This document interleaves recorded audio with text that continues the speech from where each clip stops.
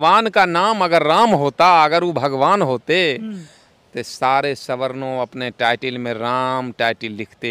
हम्म। शूद्र अगर लिखता तो उस पर मामला मुकदमा हो जाता उसको घींच करके जेल में बंद करता। राम मीन्स चमार। राम का मर्थ ही होता है चमार। अगर चमार नहीं होता राम में अगर शक्ति होता उनमें गुण होता तो हर सवर्णों के टाइटल में राम लिखा रहता।